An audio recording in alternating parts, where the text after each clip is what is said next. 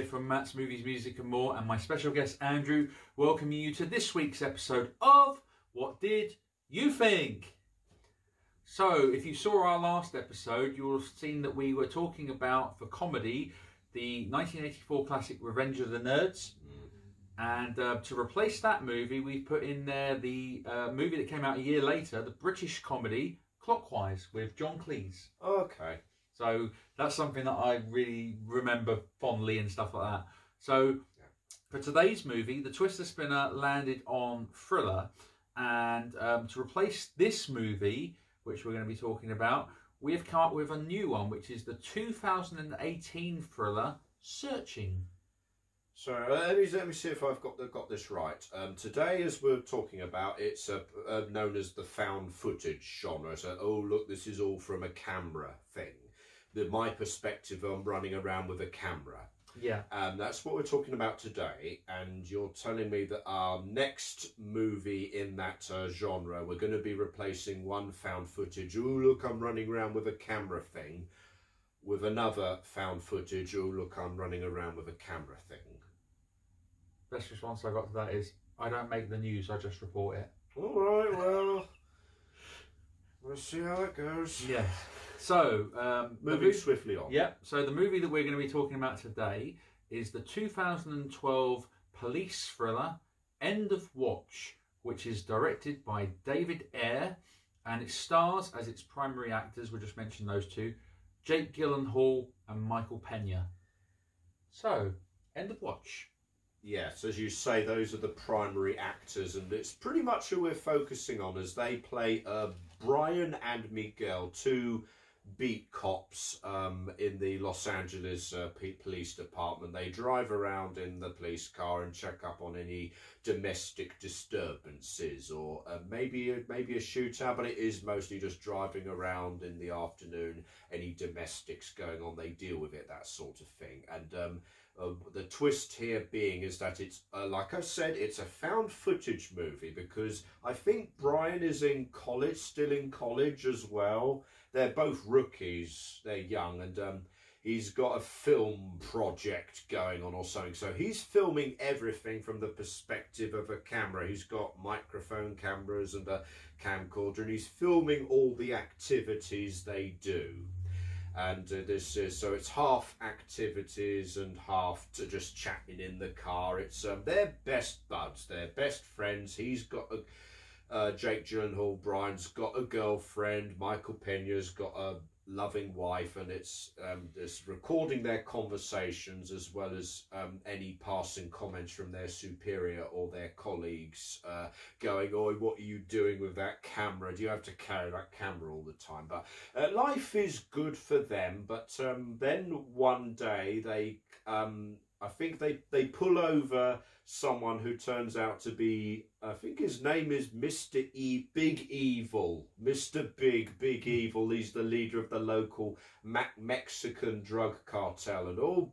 They pull over his truck and oh blimey, what have they found? They found a ornately bling decorated gun. They've got drugs hi- hiding in money, all sorts of things. And they, initially, this is a oh wow, what a big find, and one or two other minor things that make them heroes, and they get very confident about this. But then, soon enough, the more they investigate into this, the more the um, local FBI group, I want to say, come in and say, Excuse me, sir, but you have ruffled the feathers of the local drug cartel, and this will have consequences for you. They will be coming after you. Would you mind awfully please, sir, to not get in the way of our investigation? And we would advise you to um, lay low and um, not do anything. I'm lying, of course. That's not how they put it. They basically tell them to F off and mind their own business. And Jake Gyllenhaal's character, especially, is like, uh, we're not going to let them tell us what to do. We're going to keep investigating this um, Mexican drug cartel with all the awful things that they do. And um, as time goes on, oh blimey, do we see all the awful things they do? And oh blimey, are Jake Gyllenhaal and Michael Pena going to regret this? So, all the while going, oh look, we're filming this thing now. yeah. So I suppose the first thing we need to address is about uh, the way it's shot and everything. It's pretty much like watching an episode of the American reality TV show Cops in a way. That's definitely one of the first impressions you could get. Yeah. Immediately upon seeing the, the visual way that this movie is presented, I suppose another glib way of putting it is um, you know, your typical cop drama movie, action movie with cops in America.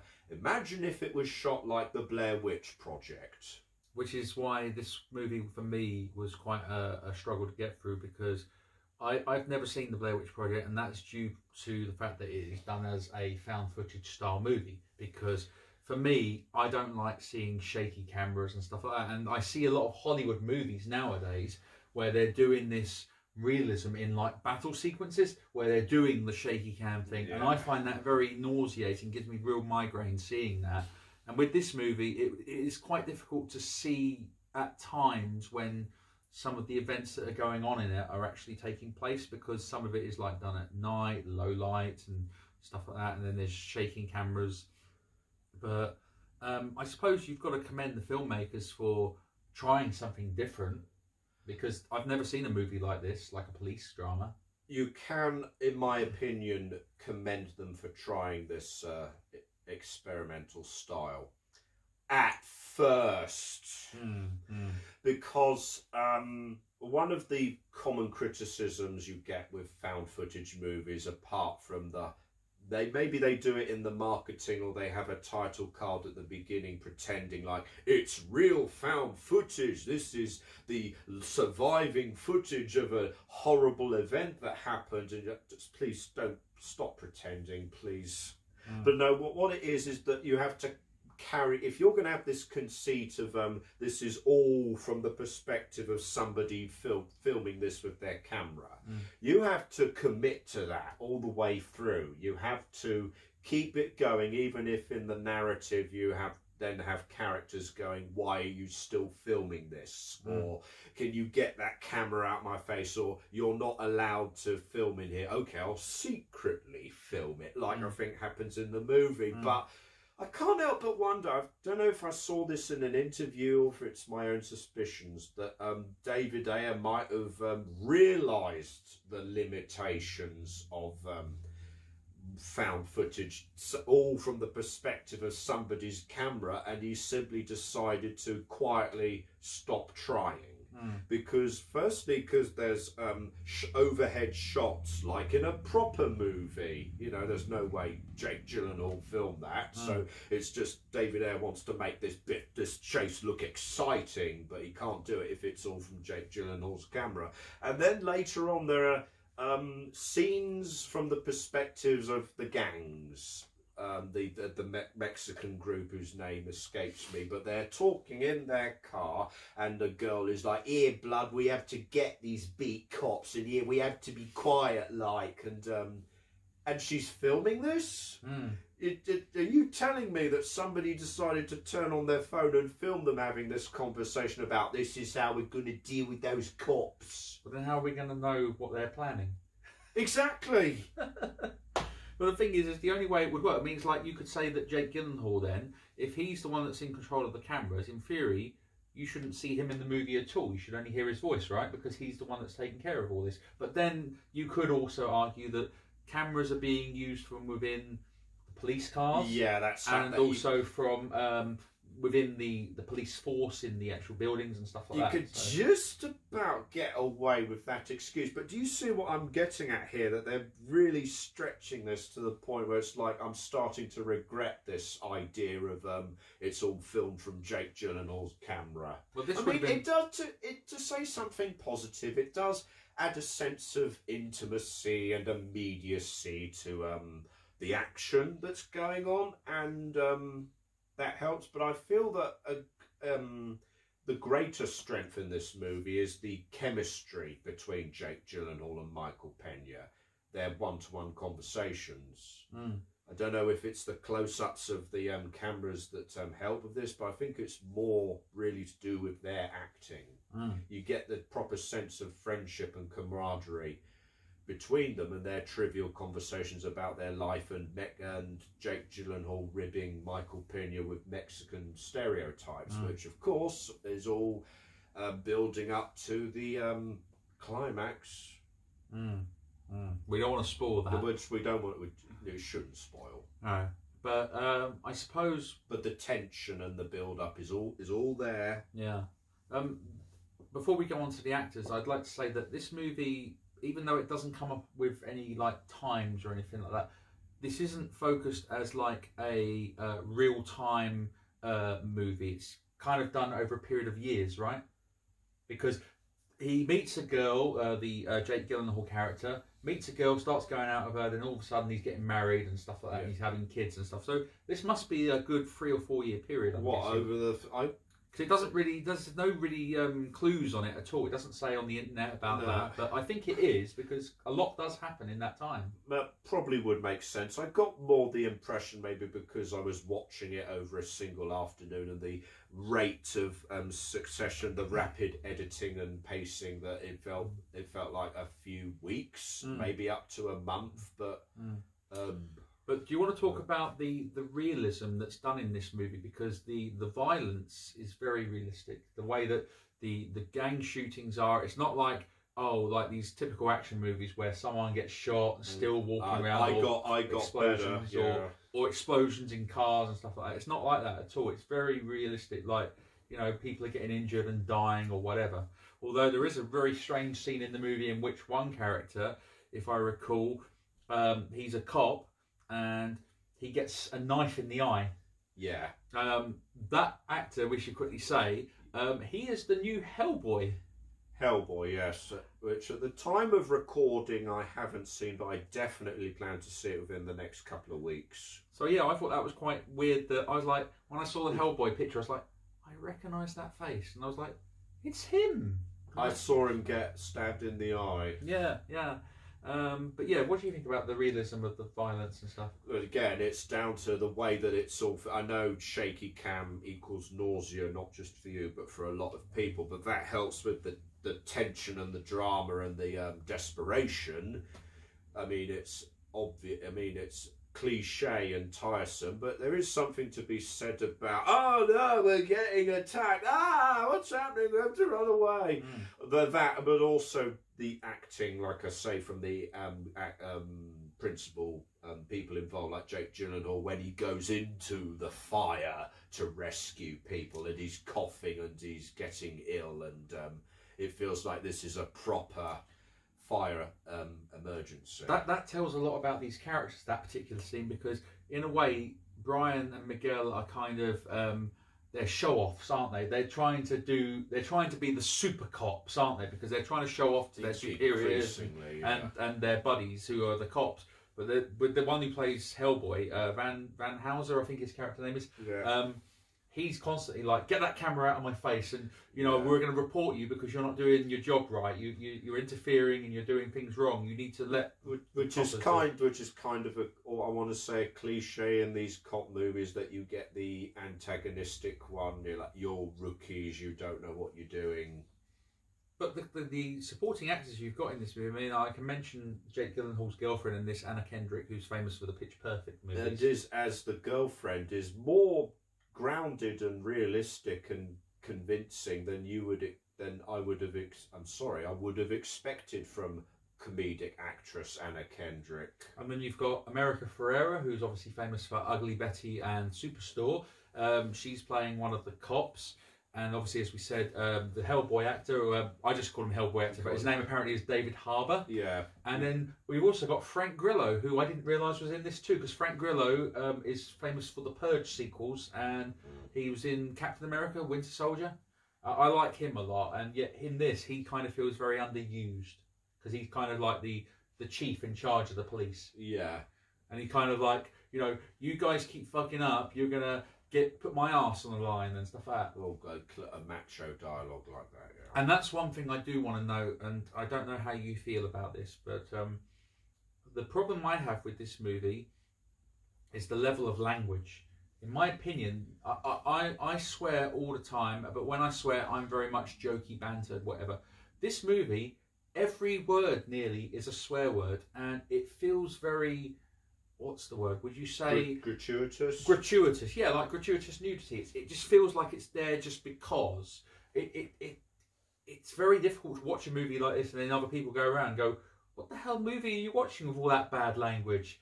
And it makes me feel very uncomfortable. Did you get that? Yeah, Um, I did. Okay. I did. I mean, what do you think about the language in it? Um, well, do we? I suppose it's trying to. I don't know if it's a genuine attempt to try and convey this is what it's like on the on the uh, Los Angeles police force, or if that's just David Ayer going. This I'm swearing equals maturity. Well, the thing is, is that if they're cops, in theory, it's like any workplace. You have to do it properly. You're not supposed to swear in your jobs. Well, on, out well, and about. well. I was going to say, do they do it in front of the public? And they're like, yeah, they they do. They do. So yeah. So it, it is a difficult one. Um, but yeah, that that's one of my gripes of the movie. Um, but like I say, the acting's very good. Um, the story, it's as I say, it's very much spaced over a period of time. So, um, but for a movie that costs between seven and fifteen million dollars, for it to make nearly sixty million dollars, that's an impressive figure.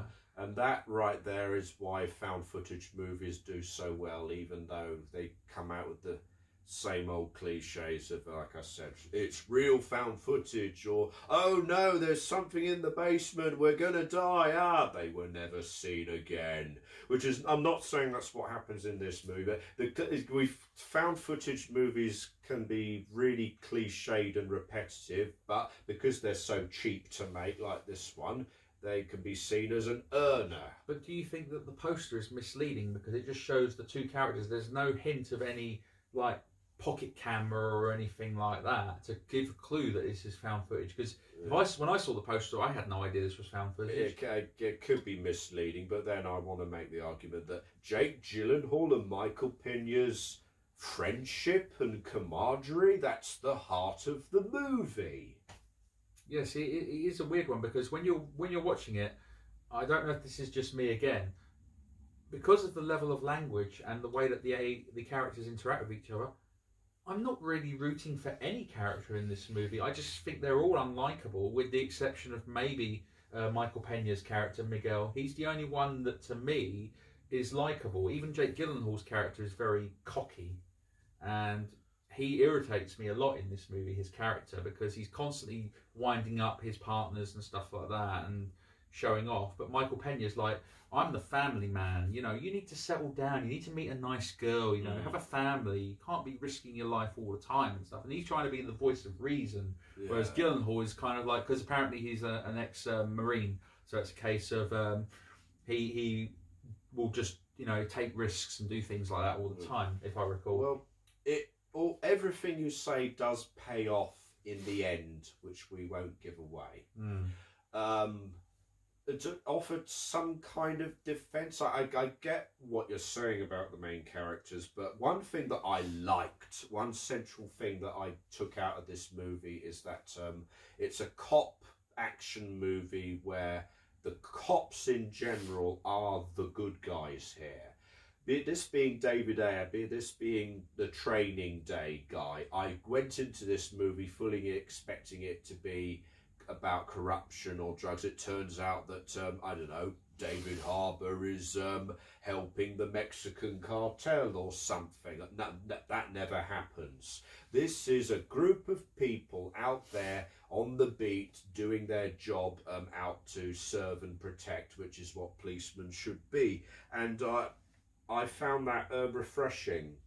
Um, a little trivial uh, thing in re- doing research for this uh, review, I found an article about um, the a police department was um, secretly taped or caught surveillance in the hope of exposing a corruption or something, and all that the results they got was a lot of police of real life police officers saying that their favourite movie is End of Watch. Wow. to quoting the the opening line from Jake Gyllenhaal about I am the line between order and chaos or whatever it is that he says, and I thought, oh, that's a really uplifting thing. You know, if people are taking away from this, you know, a positive um, message about cops being heroes or trying to be heroes, even if they're you know being cocky about it. And then I, at the end of the article, I saw a great big update saying this was our website's April Fool's joke of 2016, and I went, oh,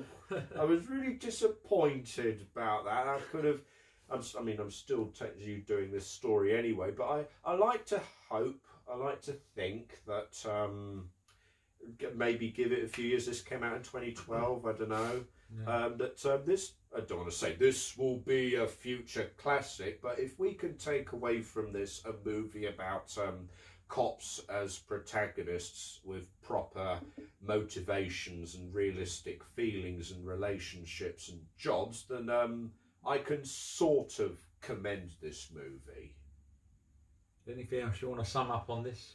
Um, well, that was arguably one of my big um, send-offs. But I'll, i as a movie, should you go and see it? Um, as a curiosity, because my biggest bugbear is that um, it's one of those found footage movies that doesn't commit to it. It starts off being this is all going to be from the camera, and no, it isn't because you have to establish the bad guy's point of view. You have to establish some action, and I find that really annoying when it comes to found footage shaky camera movies when you just give up or it you can tell on screen you're not even trying anymore and I got that sort of sense of stylistically from a technical directing point of view David Ayer you're not even trying anymore but it's Jake Gyllenhaal and Michael Pena's um, acting and camaraderie as characters that really drive this film and sell this film for me um, like yeah check check this out if you're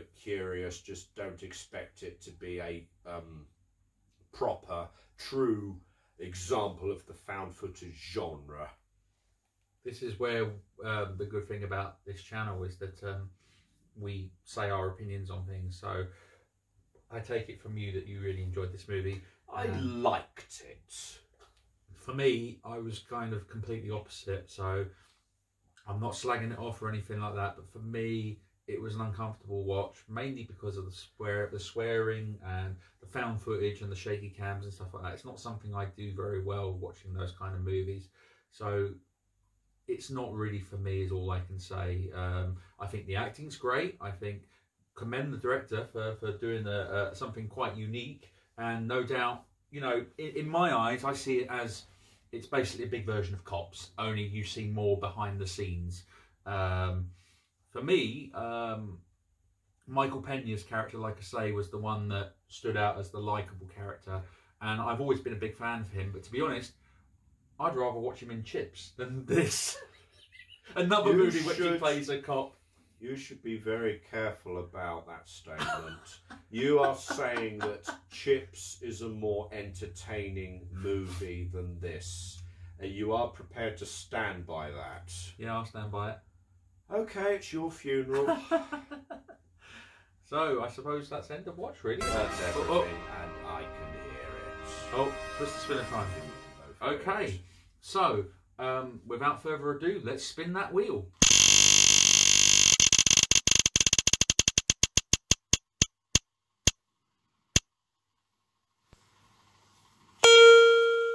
Oh, It's landed on Patreon. I. So we don't have any patrons.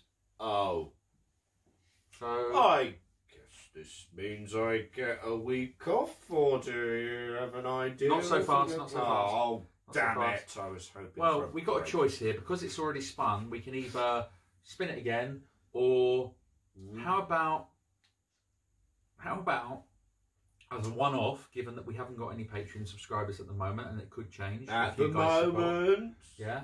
How about, um, given that we've got Matt's picks, would you like to pick up the next movie we can talk about, either from the list already on the Twister Spinner, or do you have something in mind that you want to talk about?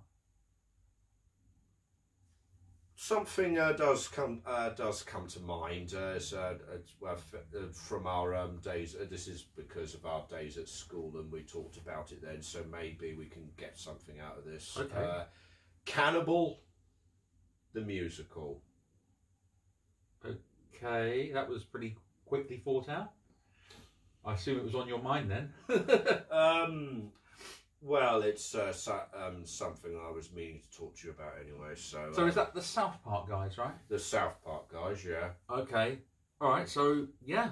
So the next one we're going to do then, I guess, is Cannibal the Musical. Andrew's pick. So don't blame me. but uh, yeah. So um, we'll be looking forward to that one. So um, thanks very much everybody for checking out this video. Don't forget to like and subscribe and share this with all your friends. Check out Facebook, Twitter, and Instagram for all the updates that we've got regarding this series, Andrew's series at the Yeah. movies with, and um, we've also got some uh, solo videos of mine, music reviews coming up as well slowly. So, yeah, thank you very much, everybody, and all the very best. And all I can say is, Andrew, any final statement? Oh no, there's a shootout going on. Ah, what's going on? Oh, don't do this, man. Ah, no, I'm not gonna make it. Ah. They were never heard from again. Roll credits. Bye bye.